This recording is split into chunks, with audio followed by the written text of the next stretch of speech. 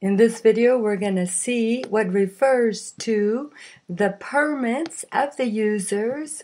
what actions can the users do, how we can add users to the application, what different types of users can there be in an application, and generate a portal of clients of our company that don't have to have an account of Zoho can enter our application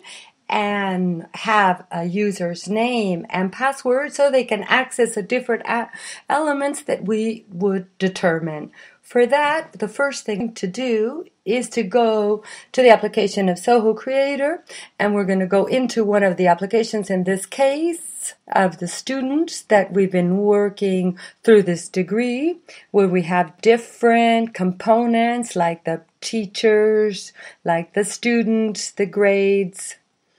and I'm going to enter this application and we're going to enter in settings and then remember, even though we saw it in the other lessons, that we have different types of users according to the access. We have the administrator user that creates the application or that possesses the application in its portal, that is, is his own, that has access to the configuration and can configure, can add element, create previews, views,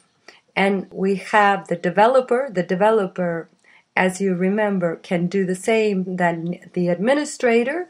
can go into create elements, reports, and to add somebody as a developer, you go to the application, you use the option of change developer, or you, and then you add the email here from, and it's a user that has the access like an administrator. And then remember also that a developer, this has to have a Zoho account, or if not, then he, if not, he gets an invitation to create a Zoho account and it's going to count as a user in the limit of user in our plan that, that we have specified.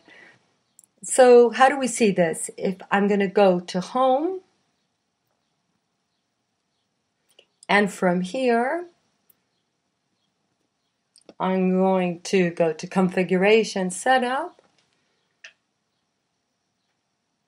And we see here that the management of users, we have the user, that's the administrator, and we have what kind of plan we have, the current plan. We have enterprise blank with two users contracted and active users one, so I have available one left. And then I remind you that if we add somebody as a developer, it's going to count as a user in the application. So we can only share these applications with users with so many users of Zoho as we have available in our system. So we can count and our account of how many we have available as developer. And so we see here the administrator, the developer, and we have a third user that would be the user Zoho, a user of our company, a user that we want them to have available the application and that has a password.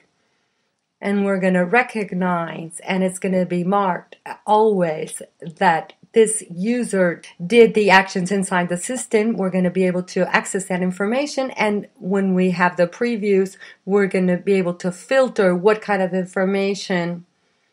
we want to show this user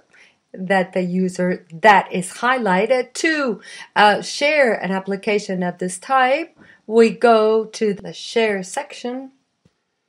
and from there we can select the different elements of our application that we wish to add to the email of the